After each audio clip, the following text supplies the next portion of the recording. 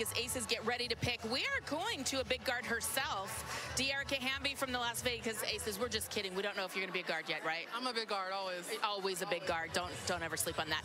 Becky Hammon is your new coach. She has been a legend in this league. What are you looking forward to her bringing to your team this year? Uh, her competitive edge, her experience. Um, we see what she's done on the women's side and at the men's side at the highest level. So I'm excited to get her there. I think she's going to push the pace a lot, and I know we're looking forward to that.